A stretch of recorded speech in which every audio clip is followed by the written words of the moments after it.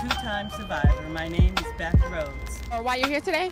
I'm walking for my cousin Talika. She's a breast cancer survivor. And of course, families stick together. So whatever it takes, we're here. Hi. Um, I just I lost my grandma a few years back from breast cancer, and it's really affected me. So I'm just walking out here for her. October is Breast Cancer Awareness Month. Pinktober is important because it's a family and sisterhood of support. We celebrate Pinktober because early detection saves lives.